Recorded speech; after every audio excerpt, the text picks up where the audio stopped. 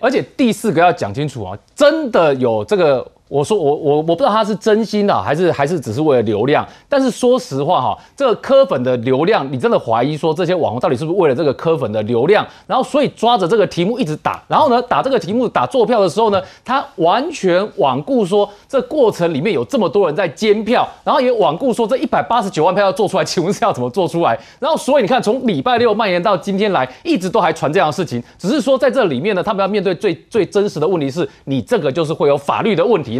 所以崩溃啊！你要崩溃没有关系，但是如果你崩溃的方式是扭曲的现实，然后去抹黑或者是造谣的话，这个就会面对到实际上法律的问题了。所以静言，嗯，柯粉，柯粉现在俩讲啊，说如果黄珊珊啊、柯文哲啊，你们才是战犯，你不出来道歉的话，四年要挺国民党哦，国民党听到一定很高兴你听到也蛮高兴嘛。这个反正现在这个选后，我觉得大家检讨都会，你看这个。也会讲互相找战犯，然后到时候林涛又要出来骂他们了。你看，连这个哦，这个你们自己党内都在讲说黄珊珊是战犯，对不对？第一时间他不，他可以讲黄珊珊是战犯，因为他们是民民众。对对对对对对。哎，国民党怎么可以讲你的对手是战犯？开什么玩笑？哎，第二名可以哎，以后这个奥运的银牌说战犯就是奥运的金牌，他如果不出来比赛，我就是第一名。哎，可以这样子吗？振奋就是好友一致，有人不敢讲。所以那个林涛就很开心，就说：“你看，连这个民众党内的党员都认同我说的哦，你看他果然很了解民众党，他可能会这样子说。但问题就是说，确实。”民众党自己现在，他们现在面临的问题就包含我们讨论说国会这件事情，你接下来要怎么做，这个很重要嘛。他们今天大开的记者会，哎，讲了这几点。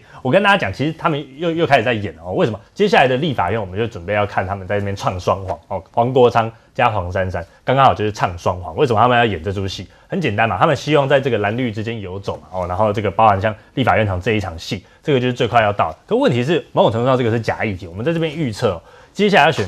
正副院长这件事情，因为我去查了一下正副院长的选举办法嘛，哎，他是这个第一轮哦要过出席过半哦的票数才当选，那第二轮也就是说，如果第一轮都没过半的话，第二轮的话其实只要相对多数，哎，然后就是前两名再去选，然后就就可以当选了，所以严格说起来。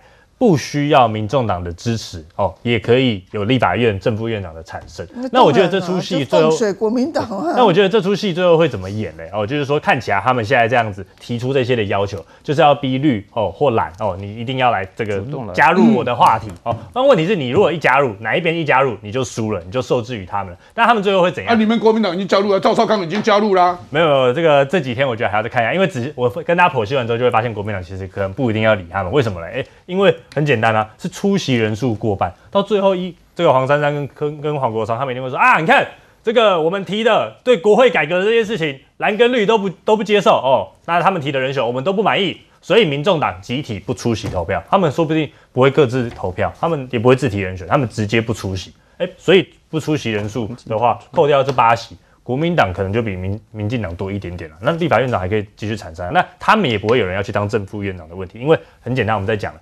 副院长他反而要主持议事，他议事中立。哎，黄珊珊跟黄国昌很需要舞台去表演，他们怎么会想要去当这个副院长？所以看到了柯粉，现在柯粉抓战犯，就是你柯文哲，就是你黄珊珊，怎么来看呢？